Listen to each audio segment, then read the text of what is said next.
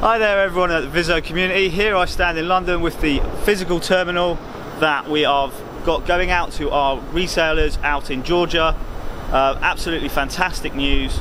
Uh, we will be running some articles uh, showing this in use in local bars and restaurants.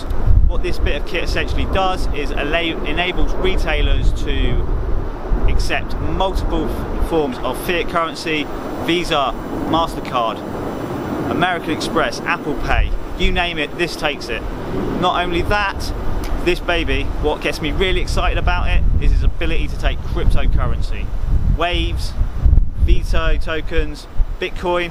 However, the one thing I will say about Bitcoin at the moment is unfortunately the transaction speeds are very slow so I would highly recommend using the Waves platform or our native Vito tokens.